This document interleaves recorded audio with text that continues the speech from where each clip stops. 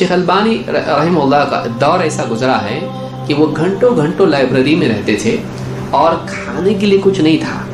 तो क्या करते थे? ब्रेड लेते थे और इतने पैसे नहीं होते थे कि कुछ और सालन ख़रीदें। तो जो दही जो होता है, दही का कुछ पानी निकलता है। अब जहाँ रहे दही रखा रहे तो क्या होता है उससे?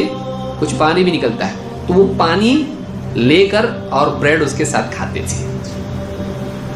आप सोचिए, इतना बड़ा इमाम, इतना बड़ा आलिम जिसकी किताबें आज बड़े बड़े मदरसों में पढ़ाई जाती हैं। तलबा एक अच्छा सा आलिम जो है, उनकी किताबों से मुस्तगनी नहीं हदीस की तहकीक के लिए। इतने बड़े आलिम। लेकिन ऐसी ज़िंदगी थी।